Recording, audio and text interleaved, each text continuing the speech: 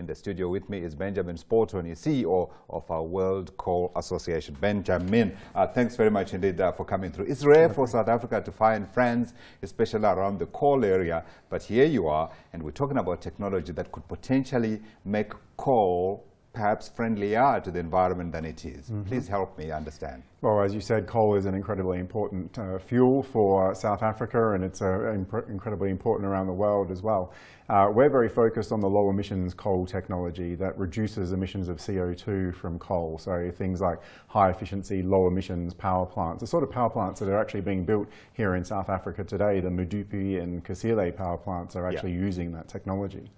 So are you saying those plants are now um, more efficient, number one, in terms of coal, sorry, coal usage, mm -hmm. but also are less harmful to the environment? Indeed, yeah. So what these How plants much more do, so? So what these plants do is get more energy out of every sort of lump of coal, if you oh, like. I see, okay. So you use uh, less And so what they, in, indeed, and so what actually happens is because you're getting more energy out, you have less emissions. So a modern high efficiency plant will uh, reduce emissions from coal of CO2 by about 25 to 30% compared to older technology. Okay. So that's quite a big impact when you it look is. at that globally. Uh, we, so we try and get lots of countries to actually use these technologies. They're widely recognized as one of the best ways to reduce emissions from coal today. Yeah. Is there more potential to get more out of uh, these technologies? In other words, increase even the, the, the, the current efficiencies from what mm -hmm. you're talking about now?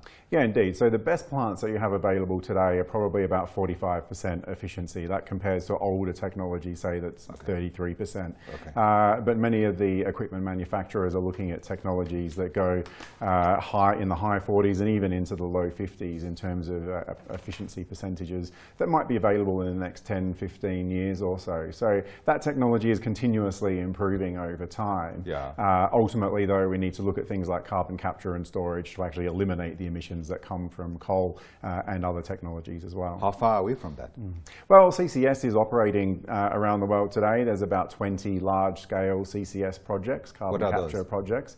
Uh, they're on things like power stations. So there's two on coal-fueled power plants in North America, one in Canada and one in uh, the United States, and then on things like gas production and on steel mills and cement plants and things like that. So uh, this is a technology that's emerging. It's still very new. We're not okay. doing anywhere near enough of it yet, uh, and we're going to have to be focusing on that more internationally in the years to come. Yeah. So you were telling me that uh, the World Coal Association was meeting in Johannesburg mm. yesterday, yeah? Right? We hosted a, a, a roundtable in Johannesburg what were you yesterday. So we're, we're looking at how coal matches up against the UN Sustainable Development Goals. So ah, these okay. are the big global targets uh, that were set alongside uh, the Paris Agreement. They were both agreed in 2015. Yeah. Now, obviously, coal contributes to sustainable development. Mining here in South Africa and elsewhere uh, in the region provides jobs, it provides investment for local communities. Uh, but obviously, coal mining and the use of coal has environmental impacts as well. And so, yeah. what we're trying to do is begin a process to look at how we map coal against those sustainable development goals, right. identify where we do good things and try and do more of it, mm -hmm. and identify where we have challenges and work out ways that we can try and address some of those challenges. Yeah.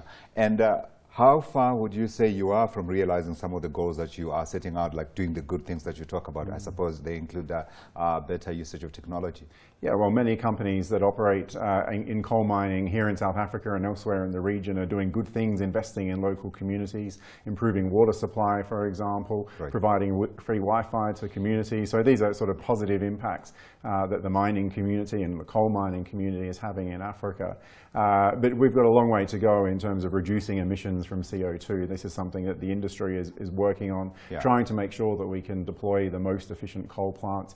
Uh, that is always a big project uh, that we're continuing to work on, particularly uh, in, in some of the major African countries that are looking to add new coal-fired power ca capacity, yeah. and also in Asia as well. Yeah, I'd imagine you came up with a set of goals, you came up with a set of resolutions that uh, sort of take your organization into the future? Well, that's, that's what we're working on at the moment is to try and accelerate the deployment of these technologies. We think it would be fantastic to try and get uh, the average efficiency of the coal power fleet, for example, up from about 33% where it is today yeah. to about 40%, for example. That would have the equivalent of reducing global CO2 emissions by about the equivalent of India. Yeah. Uh, so that's a huge impact that can be had by actually uh, in just increasing the uh, efficiency of coal-fueled power plants. Yeah, but I suppose the environment is improving a little bit with the man who's in the White House, isn't it? Mm. Well, President Trump has certainly talked more positively about the role of coal and Yeah. about the role of low emission coal technologies. Yeah. There are big challenges in the US market because of the emergence of shale gas.